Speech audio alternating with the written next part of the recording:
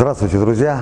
По многочисленным просьбам я подготовил авторский онлайн-курс о биомеханике ударов в боксе. Я надеюсь, он будет полезен как новичкам, так и действующим спортсменам и тренерам.